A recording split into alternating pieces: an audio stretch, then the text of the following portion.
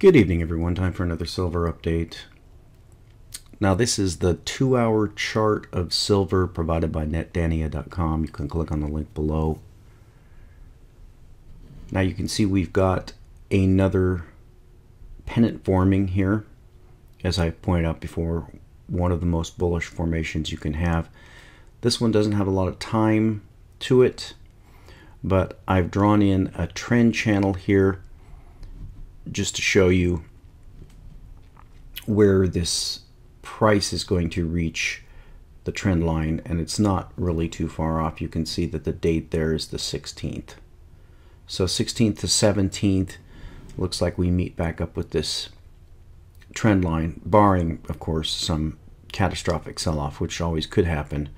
But barring that uh, at the rate we're going we'll roughly meet this trend line again on the 16th or so. Now, I wanted to point out here in this trend channel, I always like to draw trend channels because you can see that it's fairly staying within this channel, except for this violation here, which was a huge updraft. But other than that section, you can see it's come back into the trend channel that it had already established. And let's just say that this trend channel holds so what I've done here is drawn a price of where it was on the 31st and then took it about a month later. Now these are very rough, so uh, it's just an, a guesstimate basically. But if we go a month out from there with this rising trend channel, and it was about in the middle of the trend channel. It takes us from about 1870 to as high as 2130, but really probably more in the middle of the trend channel. So we'll just say 1870 to 2070 just to be on the safe side. So that basically gives us a $2 a month rise in the trend channel. And if that holds, of course, then you can see after 10 months, that would be $20 increase in the price of silver. That would give us $41 silver 10 months from now. 12 months from now, it would give us uh, $24 on the price. At about $45, we'd be a year from now about ready to test that $50 price. Now, as I said in the last video, that can always change because the trend channel can actually accelerate upward. That's something like we saw back in the rise where we had uh, increase in the rate of the trend back here in about October of 2011. So you can see that for a decent amount of time, the trend was pretty steady there, and it was even actually a fairly uh, consistent trend channel. I'm not drawing it correctly, but you can see it was a fairly consistent trend until about this point here. And then you can see that it took off into a new trend that was verging on parabolic, but then again, it could have gone much higher if the powers that be had not interfered in the market, we'll say. So that's what I'm expecting in the future. That very well could happen a change in the trend direction to a sharper upside and that could get us to that $50 price a lot faster than a year out. But then again, with the current trend channel that I drew, it gets us to that $50 price in a little over a year from now. Now, I wanted to take you over to some articles. Before I do that, I want to show you the debt limit and I like to visit this. Now, this is debt to the penny, and as I pointed out before, what I always do is I take today's date and I take a year earlier and you can see here 7 12 2013 and you can see where we're standing at 16.738 trillion. Uh, now we're currently the latest figure we have is 17.591 so 17.6 so that's 8 to 900 billion dollars. Now you can see that it sat here at this price what what was happening with the debt ceiling is they were using all kinds of shenanigans to get around it. So we had that debt ceiling, and th- and that's what we're going to look at. But you can see without a debt ceiling that we're kind of just drifting higher. We actually hit that 17.5 figure all the way back in March. And we've been drifting around that. But if you look what happened after they finally released the debt ceiling, it came up to a price. Actually, I'm sorry, that's last fall. It, it came it was stuck at 16738 and then it went to 16747 and you can see that when they finally let it go it jumped about 300 billion dollars then continued to rise so that one month later we went from 16.75 trillion and a month later we were at 17.2 trillion. So it quickly added a half a billion dollars in one month. Now that very well could happen this time, and that would mean that we would quickly go above 18 billion dollars in the national debt. So you can see that there isn't any progress at all in the national debt, and where we're at right now is the debt ceiling is actually suspended until March 15th of next year. And the question one might ask is what do they know and why did they suspend it until then? But I wanted to look at some articles here about government waste. And as you can see, we're not having these debates anymore. But I said, I've said many times in the past that they fully intend to run this thing off the tracks. They have no intent whatsoever to pay back the debt. And they really have no intent whatsoever of cutting government. We can see also by the demonization of the Tea Party. The Tea Party is portrayed as racists, they're portrayed as terrorists, they're portrayed as all kinds of things. And it's really silly when you think about it because the message is pretty simple. It is we need to reduce the size of government. But of course, that is a big threat to people who make their living feeding at the public trough. So let's take a look at some of the things that are going on now, and I can tell you it's not getting any better. This is from Dan Mitchell Great Moments in Government Waste and Inefficiency.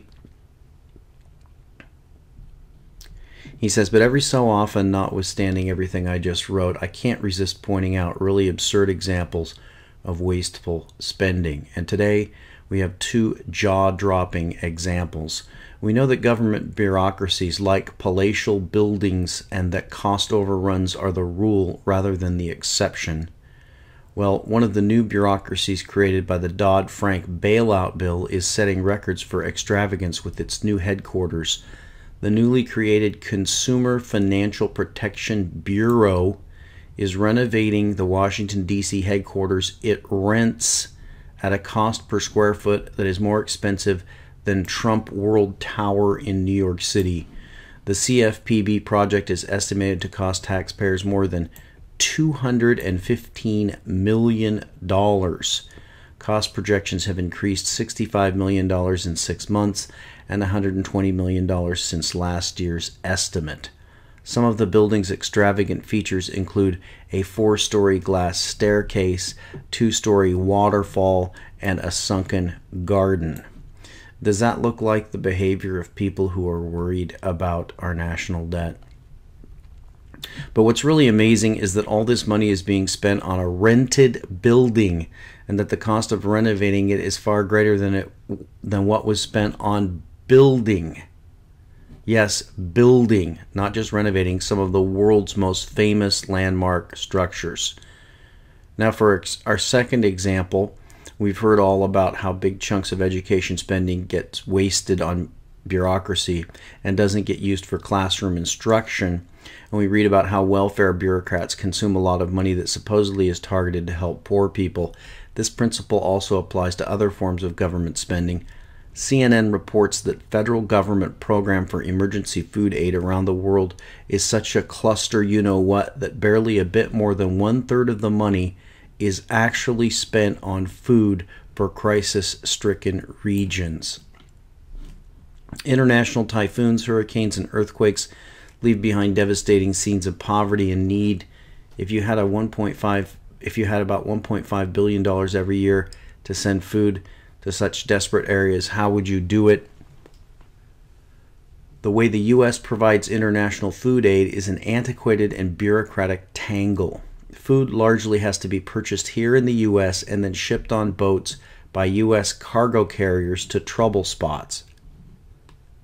The Government Accountability Office says that 65% of the money for this aid program is spent on shipping and business costs, not on food.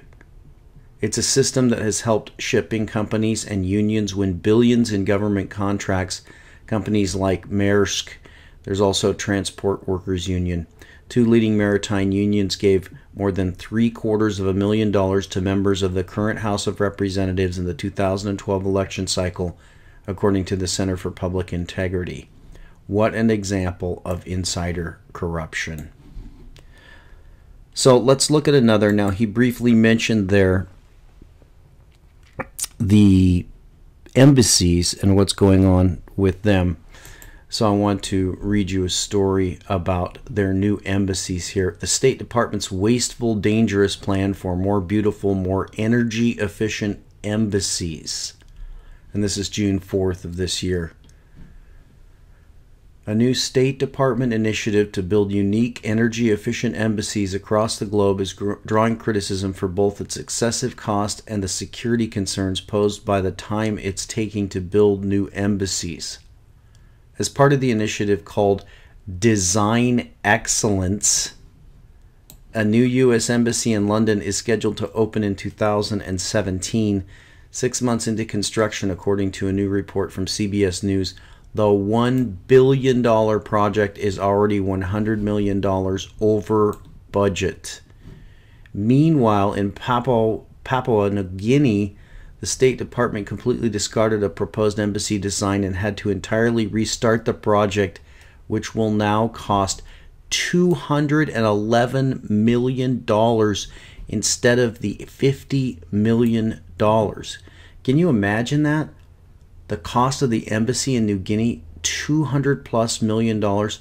What is the G- GDP, GNP of New Guinea? How many poor people are there there? They're spending unbelievable amounts of money for an embassy in this poor country. So there's another example. Unbelievable waste that our government just throws away money And here's the last one I'll read to you. This is from Citizens Against Government Waste. And this is called The Cost of Free by Sean Kennedy. Clay County, Missouri Police Captain Matt Hunter described his department's new acquisition, a 54,000 pound, 10 foot tall vehicle known as a mine resistant ambush protected vehicle or an MRAP as a $750,000 machine that we got for absolutely nothing. Taxpayers didn't have to pay anything for it, he said.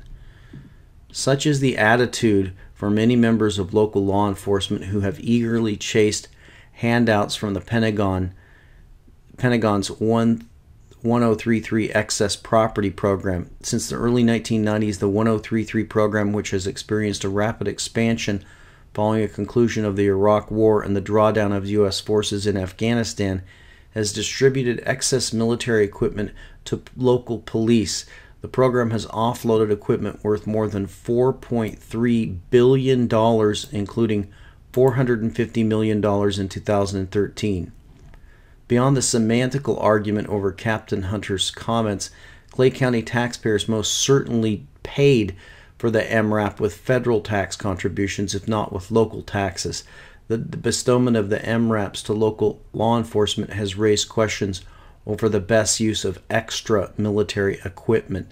Several instances in recent years of local police acquiring military grade hardware have made national headlines.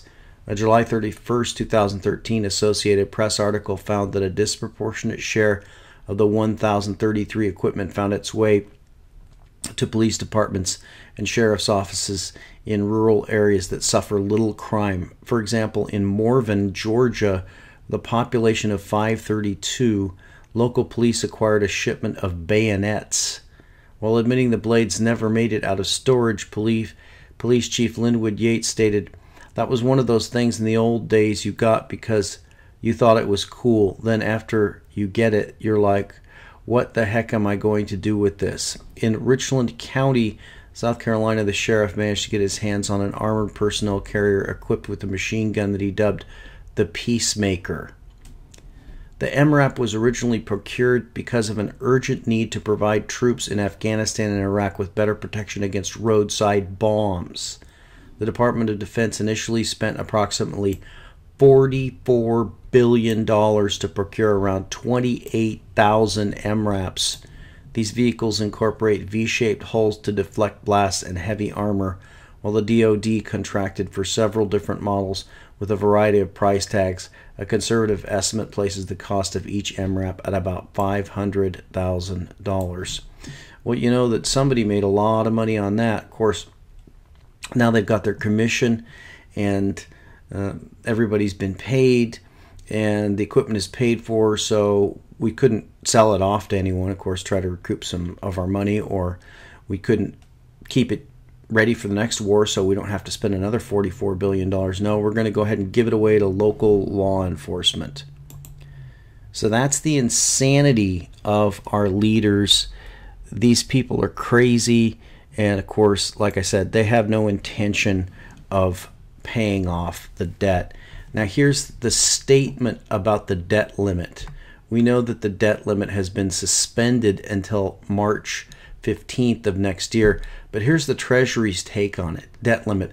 The debt limit is the total amount of money that the United States government is authorized to borrow to meet its existing obligations, including Social Security and Medicare benefits, military salaries, interest on the national debt, tax refunds, and other payments the debt limit does not authorize new spending commitments. It simply allows the government to finance existing legal obligations that Congresses and presidents of both parties have made in the past. Failing to increase the debt limit would have catastrophic economic consequences. Hmm.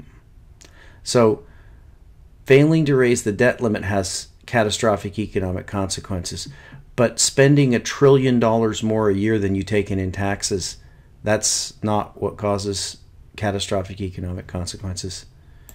It would cause the government to default on its legal obligations, an unprecedented event in American history that would precipitate another financial crisis and threaten the jobs and savings of everyday Americans, putting the United States right back in deep econ- a deep economic hole just as the country is recovering from the recent recession. Yes, this is a government page. Uh, sound a little bit non biased. No, it's not the financial crisis caused by us balancing the budget that threatens the jobs and savings of everyday Americans. It's the spendthrift Congress and the Senate and the president who are spending this country into oblivion. They're the ones who are threatening another crisis. And of course, we know this. We know that they plan to renege on this debt. I think it's probably coming pretty soon here. Congress has always acted when called upon to raise the debt limit. Since 1960, Congress has acted 78 separate times to permanently raise, temporarily extend, or revise the definition of the debt limit. 49 times under Republican presidents and 29 times under Democratic presidents.